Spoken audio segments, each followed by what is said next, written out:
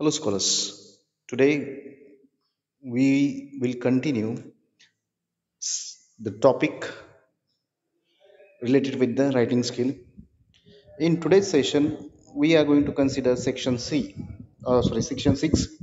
In section 6, we are going to consider the expansion of theme, understand?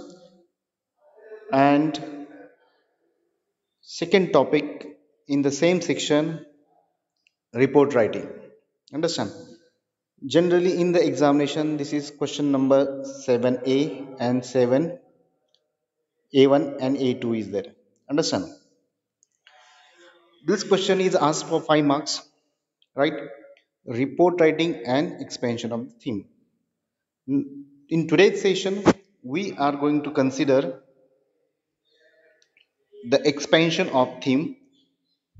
What is the expansion of theme? And we will see how to write what kind of uh, things should be mentioned, what kind of uh, hints should be followed while attempting this question. So look at now. First of all, try to understand what is meant by expansion of theme here. So here you can see now in the examination an expansion of idea or expansion of theme is a short composition. What is it? It is a short composition composition. You are expected to take up the idea embedded in the proverb, maxim, quotation, a saying, a slogan, an idiom, or the headline of the newspaper, and we have to elaborate it. So, what it is being given there? What kind of idea is imbibed? Imbibed means which is hidden in the given proverb Sometimes maxim may be given a quotation a saying a slogan uh, an idea or the headline of the newspaper that was reported and we have to elaborate it understand with the suitable examples are there understand so look at now again what kind of things should be mentioned while attempting this particular question based on the expansion of theme. Let's see now. What is there? Here you can see a proverb or a maxim is a short well known pithy. So here look at now try to understand. A proverb or maxim is a short well known pithy saying stated a general truth or a piece of advice etc for example i am going to give you the example. A burned child dread the fire.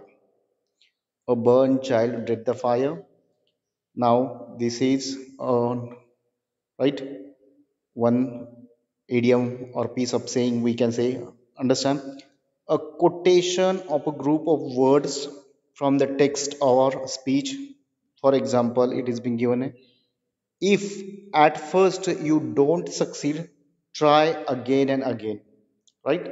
So this is the example of words from the text or speech. And a slogan is a short and striking and moral phrase used in advertising sometime some product or idea. For example here green india healthy india. So in this way such type of example such type of saying such type of piece of word maxim proverbs may be given in the examination. Okay? Now the presentation the second point in this topic we have to consider while attempting uh, the idea or expansion or the expansion of idea right? The presentation of an expansion of idea we have to see now. What is the presentation of idea or theme we have to see. So look at now. How the presentation can be done here. You can see the presentation of an expansion of idea or theme we will see now. What is here? An expansion of idea. Here you can see now. An expansion of idea should have a proper beginning and ending. So look at now.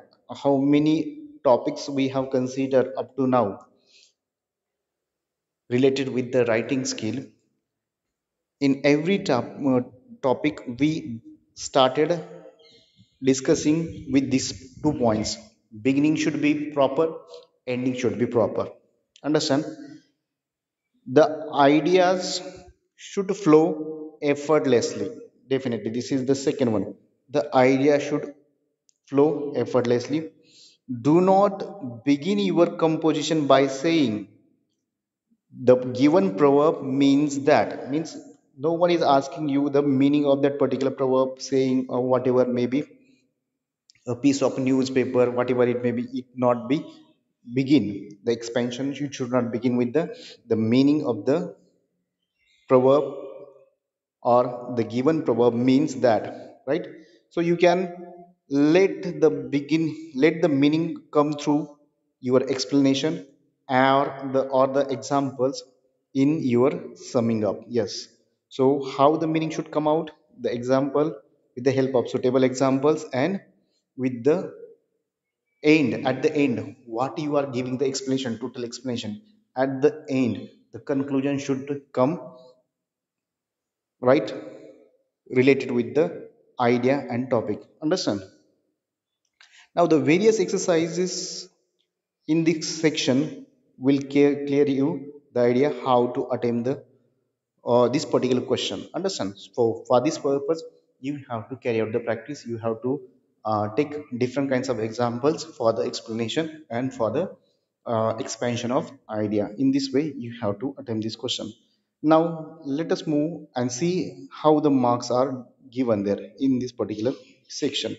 So look at now uh, this question is for 5 marks. As i have already told you it's for 5 marks. Understand? How the 5 marks are divided we have to see now. The title and proper beginning 1 mark. Understand? Elaboration of ideas and subject and theme 2 marks. Understand? Elaboration means explanation with the proper idea. Now use of appropriate grammar and vocabulary. Use of appropriate grammar and vocabulary use of appropriate use of appropriate grammar and vocabulary one mark here it is being given there. And the last one is the proper conclusion and layout one mark. So in this way the division of mark is there. You have to remember the marking scheme while attempting this question in order to get the marks right. So i hope you understood today's topic related with the expansion of theme right? And with the help of this expansion of theme you will be able to expand the various kinds of proverbs idioms maxims. I hope you understood all this right? And you will also attempt this question in the future. That's all. Thank you